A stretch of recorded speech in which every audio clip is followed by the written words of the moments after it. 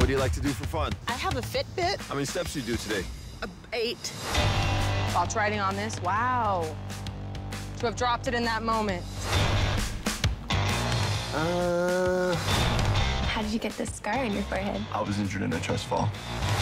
Okay, so we all know how this show works. I can only choose three of you to have sex with.